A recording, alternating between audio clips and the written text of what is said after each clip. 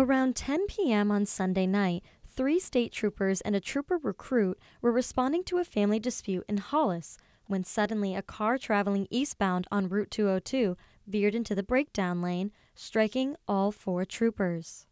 This is an unfortunate incident, uh, which has a criminal investigation attached to it. State troopers Jake Mowry, David Lemieux, Dakota Stewart, and trooper recruit Shane St. Pierre were standing at the end of a driveway on Hollis Road along Route 202 conducting interviews when the car suddenly entered the scene.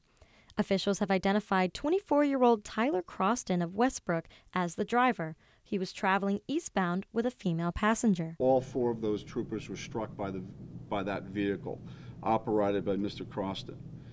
All four were transported to Maine Medical Center in Portland for a variety of injuries. Injuries were consistent of, you know, broken bones to a variety of extremities. All four of the troopers were, were incapacitated. They were conscious and alert, but uh, in significant distress at the scene. Officials say it is unclear how fast Croston was driving, but police say there are no indications that he attempted to apply the vehicle's brakes.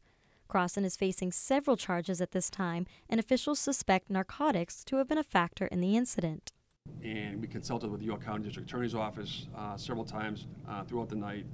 Uh, he was charged with aggravated OUI due to the injuries to the troopers, uh, reckless conduct uh, with a dangerous weapon being the vehicle, uh, in violation of conditional release. He was on violation bail conditions from a previous arrest.